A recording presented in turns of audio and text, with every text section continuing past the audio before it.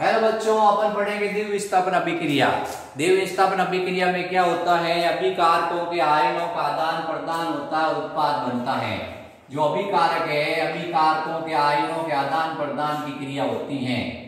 अभिकारकों के आयनों के आदान प्रदान। अभिकारकों के आयनों के आदान प्रदान के फलस्वरूप उत्पाद बनता है। अभिकारकों के आदान प्रदान की क्रिया को क्या कहते हैं? दिव्य विस्थापन अभिक्रिया कहते हैं। इसके दो एग्ज़ाम्पल दे रखे हैं। सबसे पहले तो क्या दे रखा है? कि सोडियम सल्फेट क्या है? सोडियम सल्फेट है। उसकी क्रिया किसके साथ कराते हैं? बेरियम क्लोराइड के साथ कराते हैं। सोडियम सल्फेट है उसकी क्रिया किसके साथ कराते हैं? बेरियम क्लोराइड के साथ कराते हैं। क्या बनता है? बेरियम सल्फेट का अवक्षेप बनेगा। बेरियम सल्फेट का क्या बनेगा? अवक्षेप बनेगा। और साथ में सोडियम क्लोराइड बनेगा। सोडियम क्लोराइड तो विलय होगा। अब सीधी सी प्रयोग है, एक परत नली लेंगे। इस परत नली के अंदर क्या है? तीन एम एल सोडियम सल्फेट ले लिया। तीन एम एल क्या ले लिया? सोडियम सल्फेट है, उसको ले लिया। फिर इसमें बेरियम क्लोराइड है, उसको मिश्रित किया। तो सफ़ेद रंग का एक अवक्षेप बन गया। ये सफ़ेद रंग का अवक्षेप है, ये बेरियम सल्फेट का है।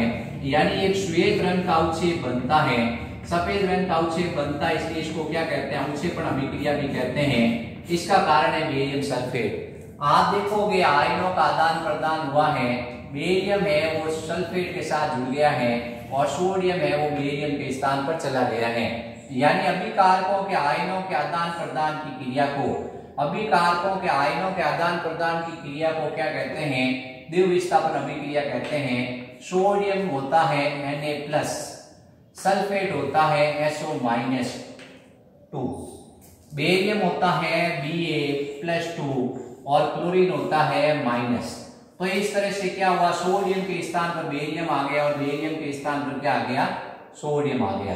तो इस तरह से आयनों का आदान प्रदान हुआ है और बेरियम सल्फेट बना है. क्या बना है? बेरियम सल्फेट बना और सोडियम क्लोराइड बना है. सोडियम क्लोराइड तो जल में विलय होता है और बेरियम सल्फेट है वो श्वेत रंग के अवक्षेप के रूप में दिखाई देता है। एक और आपकी परीक्षा में क्वेश्चन दे रखा है कि भाई क्या है, जैसे ये लेड नाइट्रेट है, क्या है? लेड नाइट्रेट है, इसकी अभिक्रिया करवाई पोटेशियम आयोडाइड के साथ। जब लेड नाइट्रेट की अभिक्रिया पोटेशियम आयोडाइड के साथ करवाई जाती है, क्या बनता है? पोटेशियम आयोडाइड बनेगा। क्या बनेगा? पोटेशियम आयोडाइड बनेगा। प्लस क्या होगा? यानी पोटेशियम आयोडाइड बन जाएगा।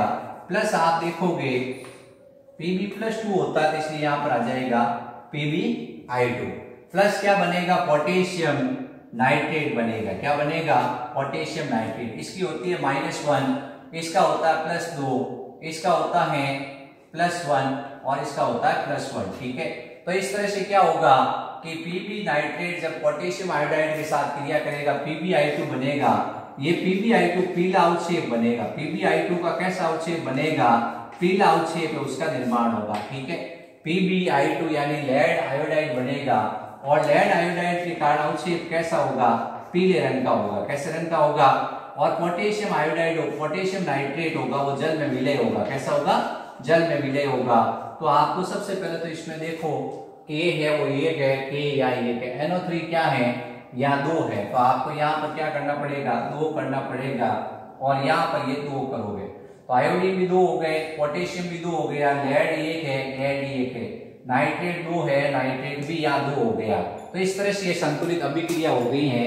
अभिक्रिया भी संतुलित पूछी जाती है आपसे कि अभिक्रिया संतुलित करो तो आपको ये बताना है। इसमें पहला क्वेश्चन पूछा है कि जब लेड नाइट्रेट की अभिक्रिया, जब लेड नाइट्रेट की अभिक्रिया, जब लेड नाइट्रेट की अभिक्रिया किसके साथ कराते हैं? पोटेशियम आयोडाइड के साथ कराते हैं। जब लेड नाइट्रेट की अभिक्रिया पोटेशियम आयोडाइड के साथ करवाते हैं, क्या होता है? तो आपको बताना है लेड आयोडाइड बनता है और लेड आयोडाइड के कारण अवशेष कैसा बनेगा? पीला। दूसरा पूछा है कि अभिक्रिया लिखो और इसको संतुलित करो तो Pb प्लस टू होता है नाइट्रेट माइनस वन होता है पोटेशियम प्लस वन होता है आयोडीन माइनस वन होता है। तो इस तरह से क्या होगा?